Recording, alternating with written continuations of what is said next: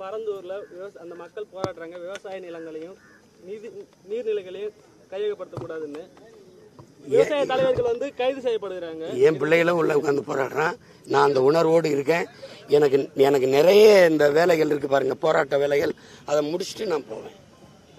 போவேன் உறுதியாக போவேன் அதெல்லாம் நடக்காது சும்மா பேசுறது. நீங்க பாரு நான் கெஞ்சி கெஞ்சி கேட்குறேன் ஏப்பா ரோட்டை போடுப்பா வர முடியல. அப்புறம் ஏர்போர்ட் கட்டுறது அது கட்டுறது. முதல்ல நாற்பதனாயிரம் கோடி அதில் பதினஞ்சாயிரம் கோடி கமிஷன் அடிக்கலாம்ங்கிறத தவிர வேற என்ன இருக்கு? சொல்லுங்க. தமிழகத்தில் தமிழகத்துல வந்து நாலு முதலமைச்சர்கள் ஆட்சி பண்றாங்க. முதலமைச்சரோட குடும்பம் அப்படின்னு சொல்லி எதிர்க்கட்சி தலைவர் எடப்பாடி பழனிசாமி சொல்றாரு. அவரோட மனைவி மகன் மருமகன் இவங்க எல்லாம் சேர்ந்த ஆட்சி நாலு முதலமைச்சர். அவருக்கு என்ன தெரியல எண்ணிக்கை குறைவா சொல்லிட்டாரு.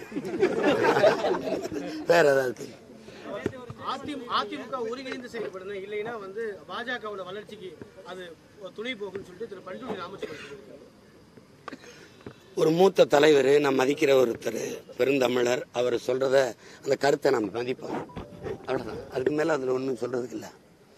இப்ப அதிமுகன்னு ஒரு கட்சி இல்ல. என்ன ஆயிரும்? என்ன ஆயிர போது சொல்லுங்க. எந்த மக்கள் பிரச்சனைக்கு வந்து மக்களோட மக்களா நிக்குது அது? ஏதாவது ஒரு கருத்து சொல்லுங்க இப்ப. இந்த பரந்தூர்ல கட்டுறாங்கல்ல அதுல அவங்க கருத்து என்ன? எந்த இதுல ஒரு நிலைப்பாடு இருக்குது?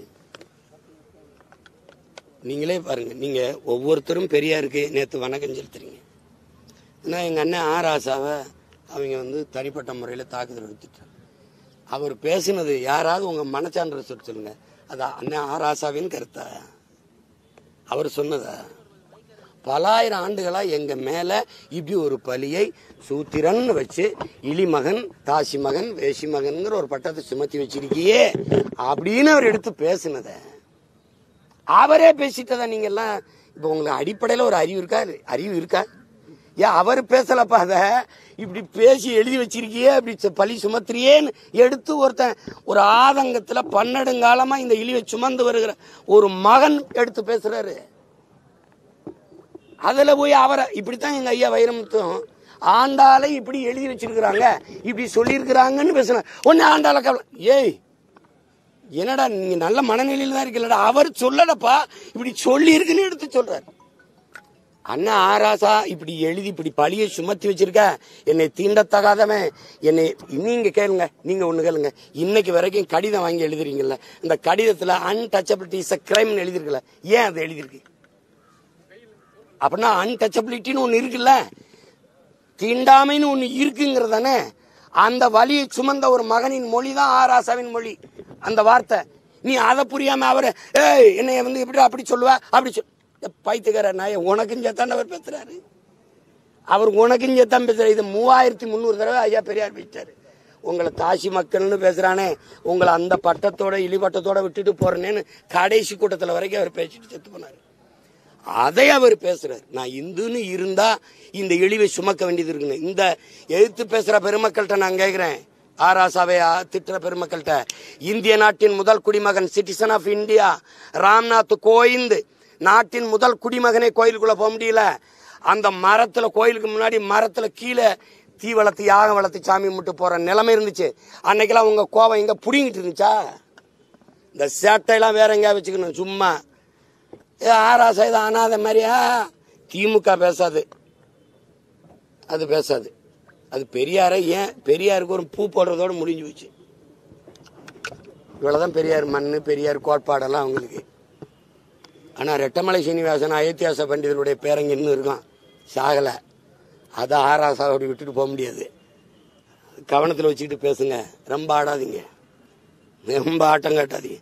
என்ன பேசுறதுன்னு இருக்குல்ல?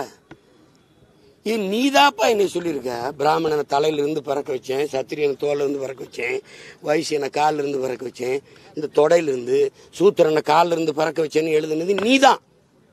சூத்திரன்னா தாசி மக்கள் வேசி மக்கள் அப்படின்னு பொருள். இழி மக்கள்னு பொருள். அதுல பஞ்சமர்னு ஒன்று வச்சிருக்கா. பஞ்சமர்னு. சூத்திரன் காலிருந்து இருந்து பிறக்கான். பஞ்சமர்னு ஒருத்தன் வச்சிருக்கா. பாரதிட்ட போய் கேட்குறேன் அந்த பஞ்சம நாம பிரம்ம தலையிலேருந்து தலையிலிருந்து பிறந்தோம் சத்திரியன் தோல்லேருந்து பிறந்தோம் வைசியன் தோடையில பிறந்தோம் இந்த சூத்திரன் பிறந்தோம் இந்த பஞ்சமே எதுலேருந்து காணும் பிறந்தோம்? அப்படின்னு பாரதி. அவன் ஒருத்தண்டா ஆத்தாளுக்கு அப்பனுக்கும் பிறந்தான்னு போயிட்டான். ஆத்தாளுக்கு அப்பனுக்கும் பிறந்த நாங்கள் சொல்கிறோம் வாயை மூடிட்டு பேசாமல் இருக்கணும். இல்லைன்னா உன் மனு தர்மத்தை ஒரு தடவை மறுவாசிப்பு செய். அதில் எழுதியிருக்கு. அதை தான் அவர் பேசுகிறார் சும்மா தேவையில்லாமல் ஏதாவது நோண்டிட்டு இருக்காத. உனக்கு அரசியல் ஒரு இளவும் கிடையாது. மலையை வெட்டி கொண்டு போயிட்டு இருக்கேன். மணல் அள்ளி தின்னுக்கிட்டு இருக்கான். தண்ணியை உறிஞ்சி விற்றுக்கிட்டு இருக்கேன். எல்லாத்தையும் தனியார் மயப்படுத்திக்கிட்டு மோடி விற்றுக்கிட்டு இருக்காரு. என்த்தையாவது பேசிட்டு இருக்காங்க நகைச்சுவை ஏதாவது பண்ணிட்டு. படிக்கும்போது வேதனை இருக்கு. ஐயோ அவர் சொல்லலையா? இப்படி சொல்லியிருக்குன்னு திருப்பி சொல்கிறாரு இப்படி சொல்லி வச்சிருக்கு அப்படின்னு.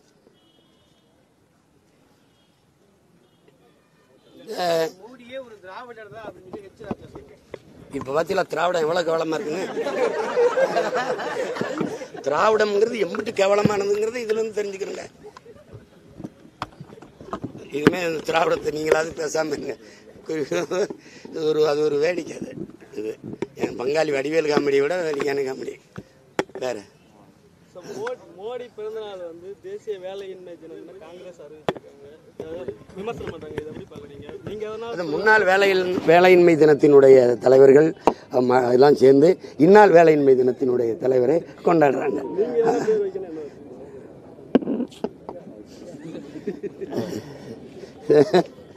என்ன என்ன பேர் வைக்கிறது அவருக்கு? நான் என்ன சொல்வேன்? புரோக்கர். International broker. அதை நான் பலமுறை சொல்லிட்டேன்.